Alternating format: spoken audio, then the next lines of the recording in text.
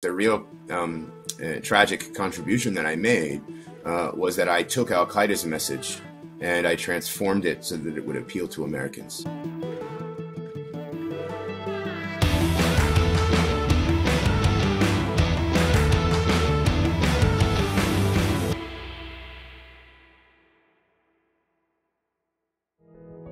Welcome to Global Perspectives. This week, I'm so happy to be bringing to you Jesse Morton, who is the founder and head of Parallel Networks, an organization combating hate and extremism. Jesse also is research fellow at George Washington University's program on extremism. Jesse was once a prominent Islamist radicalizer here in the United States, where he helped insert the narrative of Al Qaeda into the American ambit. Rarely do we have the opportunity to go inside the brain of a former radical Islamist, indeed, one who helped recruit others to the cause. Join me for Jesse's insights on the inner workings of the terror recruitment process and the implications of all this for us in the West. Jesse Curtis Morton was born in Pennsylvania 37 years ago, but he came from an abusive household and was in and out of jail as a young man on drug and other charges. He came into contact with radical Islamists and co founded a group called Revolution Muslim in 2008. Jesse Morton, it's wonderful to have you with me on Global Perspectives. Nice to meet you, Ellie, and thank you for having me. Jesse, I want to start our conversation with your experience in the US prison system. At that point, you had been uh, already exposed to Islam, I think, in a very um, elementary kind of way. And tell us who you met in the prison system and what that experience was. You know, I was haphazardly incarcerated in a city in the United States, Richmond, Virginia. Uh, Richmond, Virginia is home to a pretty big Muslim population, particularly an immigrant Muslim population, and an individual who was incarcerated for fighting uh, was a, a, veteran of the Afghan Soviet Jihad. So, me being an elementary student interested in Islam, uh, he developed a rapport with me, uh, was very interested in me as a Caucasian convert in particular, uh, and uh, started to teach me the basic tenets of the religion. But at one point, uh, the individual uh, started to transition into broader conversations through conversation about the scientific compatibility of the Quran with modern science. That transitioned into me being told that now that I learned uh, how to pray in Arabic, I could officially become a real Muslim.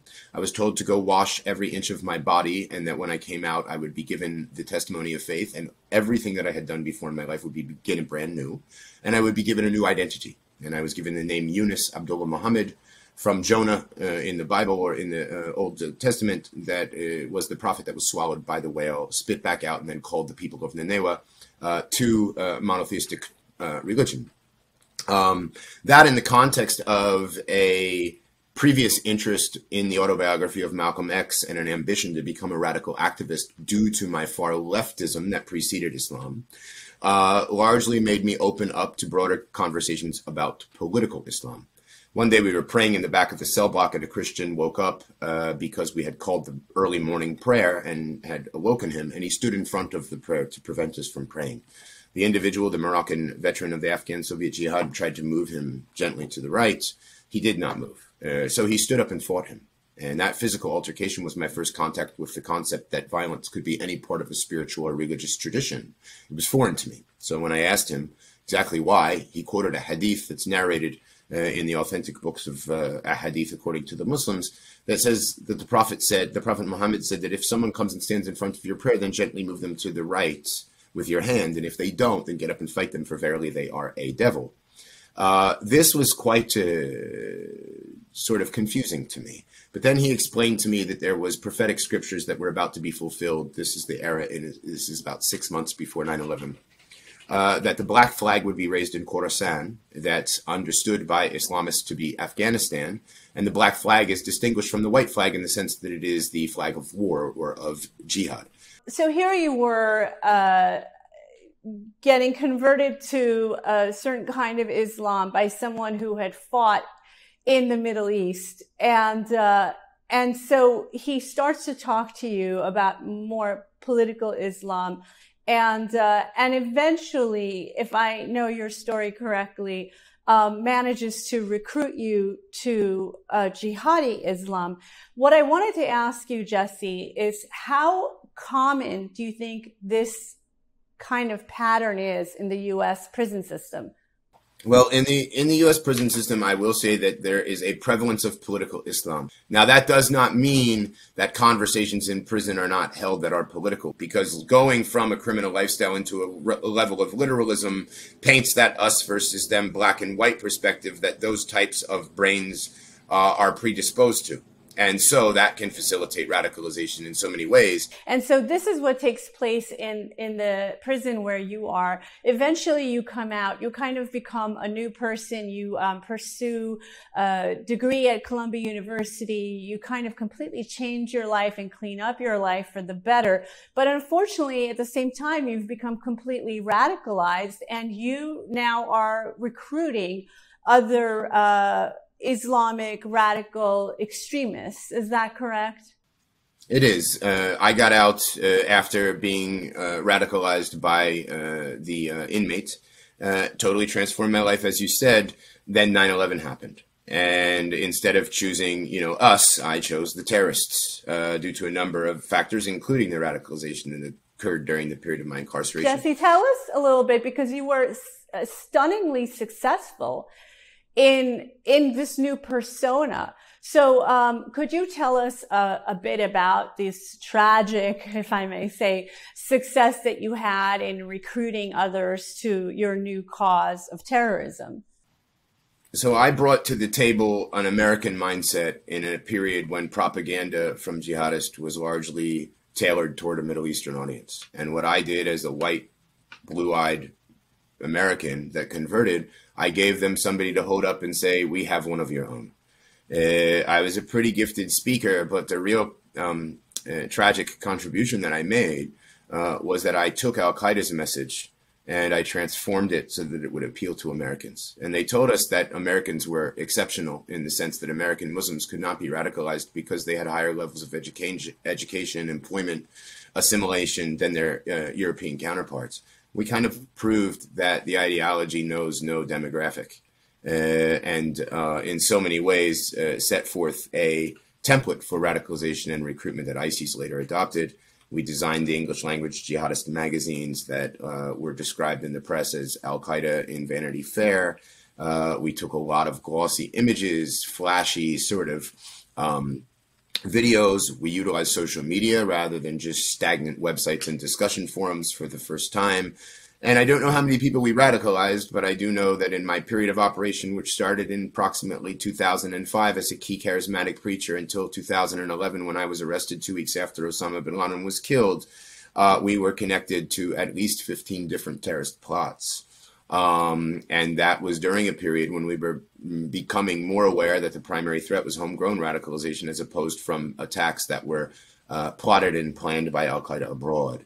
Um, it was a particularly confusing situation for our law enforcement and counterterrorism uh, elements, and I was one of the, unfortunately, the primary actors that was um, able to innovate uh, in the jihadist space and left, uh, unfortunately, enduring legacy uh, with regard to how do you take the ideology and the politics behind it and the modern era of strategic communications and become a bad actor uh, in a very effective way. Fortunately, uh, you you have turned your life around again, and I, and I do want to talk about that. But I want to just stay on something you you mentioned in passing right now, which was law enforcement and their ability to deal with this homegrown terror in the United States. I want fast forward to 2021. What we're hearing right now under the Biden administration's intelligence services is that the number one threat to the United States is domestic terror emanating from white supremacists. What's your assessment on that? I think that when they, the justification for that statement is the analysis of number of people that have been killed by uh, homegrown domestic extremists uh, being more than the number of people that have been killed by homegrown jihadist extremists since 9 11. When you take out the 3,000 people that were killed on 9 11, however, that's the way that you arrive at that number. And when you further analyze the data, a lot of those don't appear to actually be deliberate terrorism attacks if they're defined under the law. And that's a complication. Now, I will also suggest that the problem with that perception is that all of the efforts that we did to curtail homegrown jihadist extremism actually made the problem worse. And they in what the way? Muslim in what way? What do you mean by that, Jesse? Well, a lot of people critiqued what were called uh, the law enforcement approaches that utilized informants to uh, to uh, investigate people that were seemingly radicalizing. But a lot of times, the informants would, because American law is a little different, they would create sort of opportunities for individuals to engage in acts of terrorism. And then, if the individual agreed to go with it, it would lead to a material support charge and lead to their incarceration. Um, we have seen the presence of informants in the Michigan plot that is largely responsible for creating a great wave uh, of interest in domestic radicalization because it targeted Governor Gretchen Whitmer. Now, as the case goes to trial, we find out that there were, in the same manner that jihadists uh, uh, were sort of infiltrated and interdicted by informants that there was an uh, uh, more than 50% of the people involved in the plot were informants. We also have the confirmation that there was the presence of informants amongst the most radical elements of the quote unquote insurrection on january the 6th um, and so now the conservatives in general but also the most radical elements of the right wing have started to point out the same fundamental critique the perception in the minds of the American Muslims was not that they were doing investigations so that they could establish uh, counterterrorism, but that they were stigmatizing and labeling all American Muslims as potential terrorists if they were in fact uh, practicing their religion. That's the same perception that is now creeping into the mainstream conservative population. And I'll be quite honest with you. Um, the critique is legitimate. Yeah, I, it's a very it's a very fine line. I think uh, that law enforcement has to walk, um, but at the same time, that's their job, and uh, and so it's it's interesting for me um, to hear this feedback because again, this this is where under the Biden administration, our intelligence uh, services seem to be going towards, which is um, kind of diminishing the threat of radical Islam here domestically in the United States and focusing much more exclusively on the threat of white supremacy. And what I wonder is why our intelligence services can't do both at the same time. Um, I want to I want to ask you also about um, mosques in the United States. So at the same time uh, that the FBI and others in the United States were focusing post 9-11 on, on trying to curtail any further radical Islamist attacks on the country. That was a time when they started to also monitor what was uh, being preached inside mosques. And then eventually organizations like CAIR pushed back on that. And we saw places like New York City, uh, Democratic Mayor Bill de Blasio then uh, ended the policy of, of NYPD's terror unit um, actually going into mosques to to again monitor what was being um, taught and what was taking place inside mosques. Can you tell us a little bit about your own experiences on what's happening in mosques in the United States? The mosques in the United States, when I was a resident of New York City, um, I would say, in retrospect, are worthy of monitoring for many reasons. Um, predominantly because the narrative that is espoused by the leadership of the American Muslim community is somewhat hypocritical. They would never say what is said on a pulpit in public because it would be politically incorrect and would draw a lot of controversy. The anti Israeli, anti Zionist sentiment is a cloak for uh, anti Semitism. Uh, the conversations that are held on the periphery uh, in small collective numbers amongst those that are most affiliated with the Muslim Brotherhood, including the leadership of CAIR, um, are uh, quite distinct from what is stated in public, where there's this representation that they believe in a pluralistic society. They believe in a pluralistic society and only insofar as it's compatible with Islam. And the ultimate ambition doesn't have to necessarily be to establish Sharia law uh, in the United States, but to shift policy in a direction that is conducive for the Islamicization of the Middle East. And they've been able to craft a very a very interesting alliance with the far leftists that empathize that because of their anti uh, American sentiment, not realizing that everything that fundamentalist Muslims believe in would go far against their own views and their perspectives. So it's largely political. Jesse, ploy. I want to ask you though, in terms of what's being preached and discussed on the sidelines in, in some American mosques, being politi- you know, being unpolitically correct is not, you know, it's not criminal activity as much as some in the left would like to make it. So, but what else is going on in some some mosques in this country that that would possibly be criminal activity? Well, contrary to popular belief, the majority of radicalization under the period of ISIS did not occur in the mosque. A lot of evidence exists that funding for groups like Hamas exists in American mosques.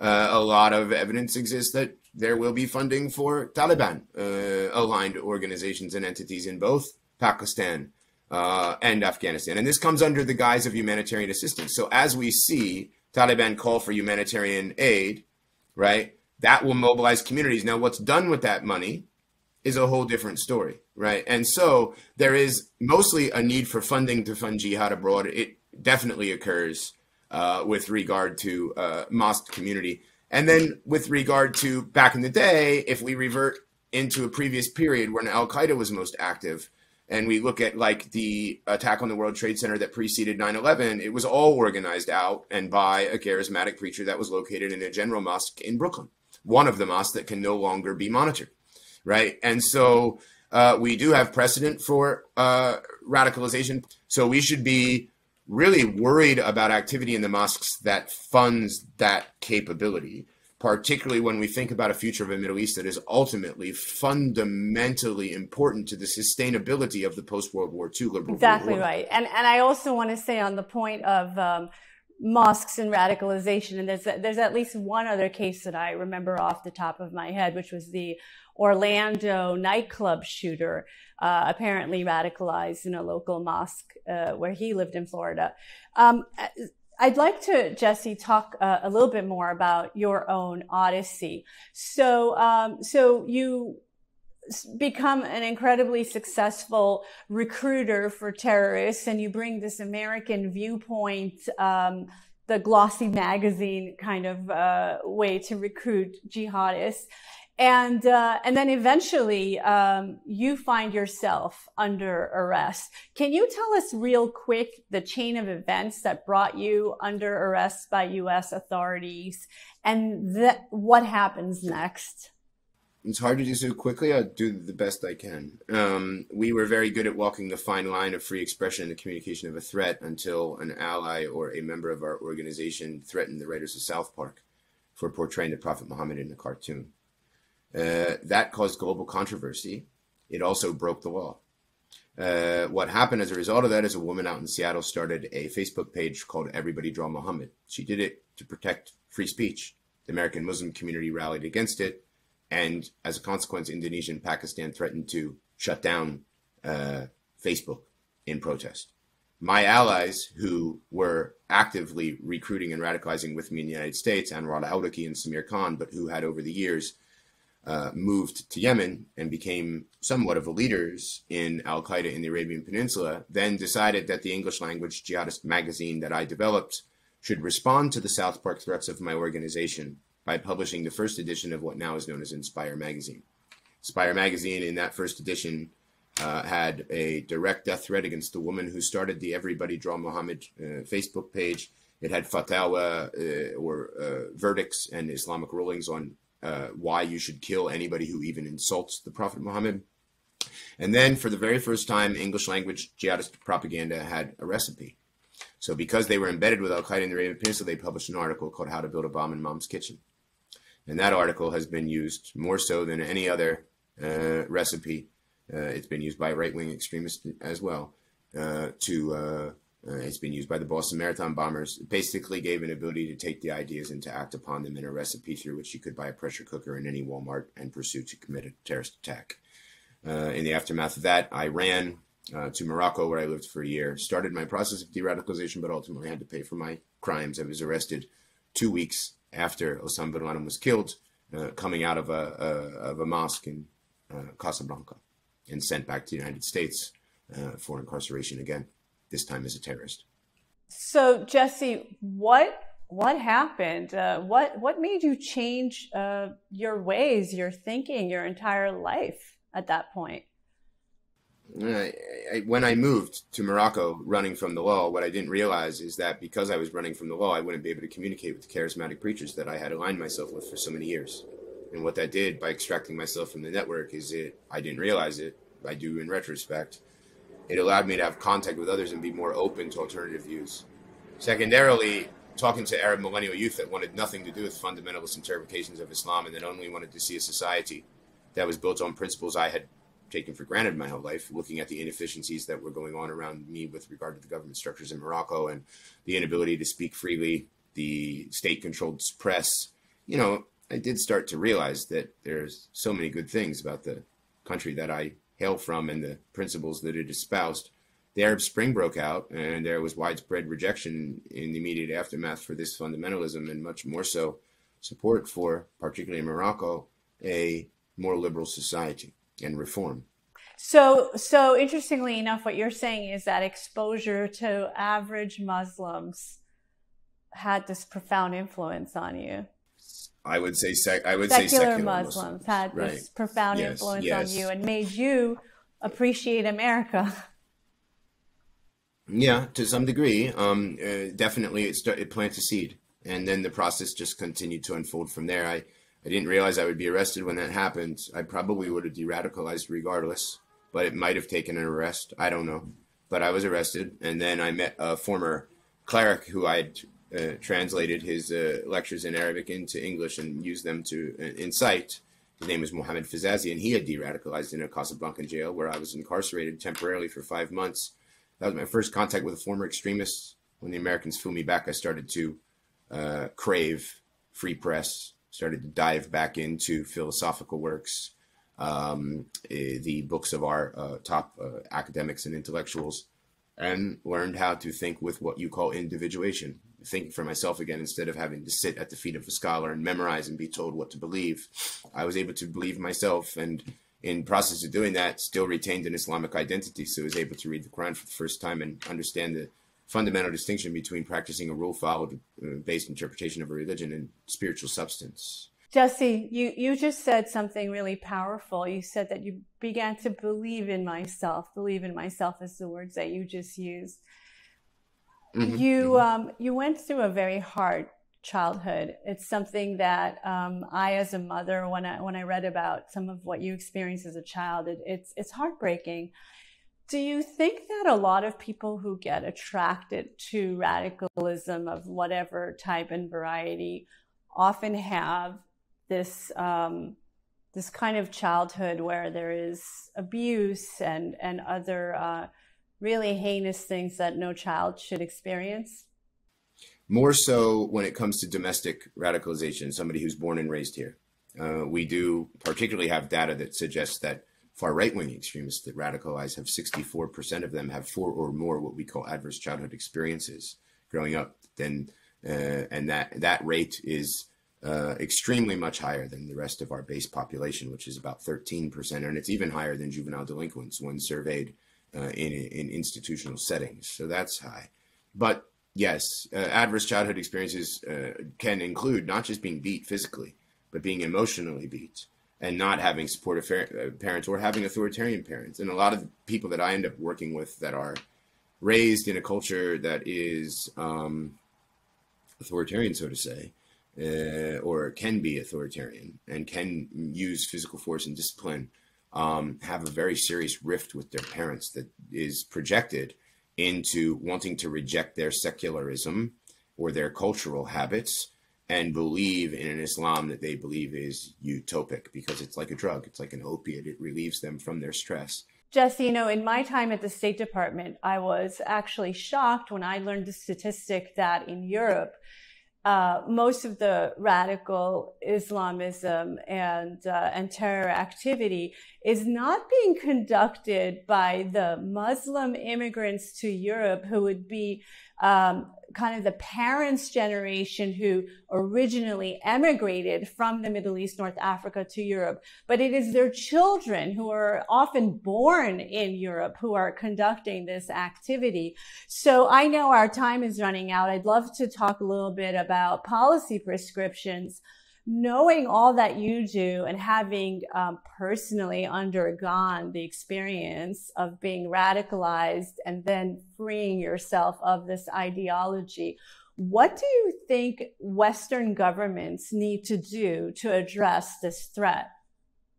Well, in brief, the reason that that previous generation was not susceptible to radicalization is because they were coming from uh, an, a period of time when there was not a rampant uh, advance of or the resurrection of the black flag as interpreted by the jihadists and the return to islamization was very limited in its influence in the middle east. So they came here with a very different ideology. And then uh, they were able to acknowledge the value of capitalism and free society right? Oftentimes when we look at radicalization trajectories there's contact with progressivism or anti-imperialism or anarchism or far leftism that was my case too that made me look for an islamism that has now become very popular because it has synthesized uh, far leftist critiques of our society that are very utopic an unconstrained vision if you will from thomas sowell.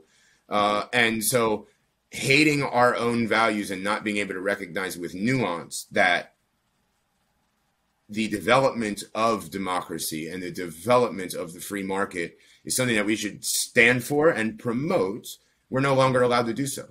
So the longer that we drift away and critique the United States as the ultimate home of racism and discrimination, when in fact it is the society in the world that is least like this, right? Then we might be able to build buffers. But with the rising influence of the more far leftist critique, and you're a second or third generation Muslim in Europe or in America, and you're exposed to this in youth, and then your identity start, starts to formulate as an Islamist, the two are combined and they're synthesized. And uh, definitely the momentum in our society and in all of our schools in particular is totally conducive to hating ourselves without any awareness of how ineffective, inefficient, and problematic and opposed to individual freedom and liberty much of the rest of the world is being so idealistic and moving into a space where even gender is going to be challenged in our schools at, at, a, at a predominant level, I think is basically self destructive and very conducive to creating pathways uh, for radicalization of all varieties. I agree that America is really at a delicate moment in our history and we're on the brink. And I certainly hope that uh, our audience will listen to your powerful words and that together we can fight back this trend in the United States and, and really pull our country back. Jesse Morton, I couldn't uh, thank you enough for joining me on Global Perspectives. Thank you for having me.